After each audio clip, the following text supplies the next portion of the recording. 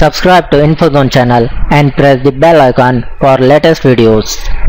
Hey guys welcome back. Today in this video I will show you how to enable and disable SMBV1 service in Windows 11 so for this guys first click on Windows icon type here Windows features. Select this turn Windows feature on or off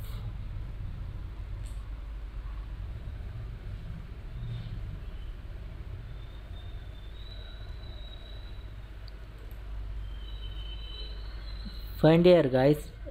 Smb 1.0 slash cifs file sharing support. If you want to enable this service check this box. And if you want to disable this service you uncheck. So hope you like this video. Please like share and subscribe to my channel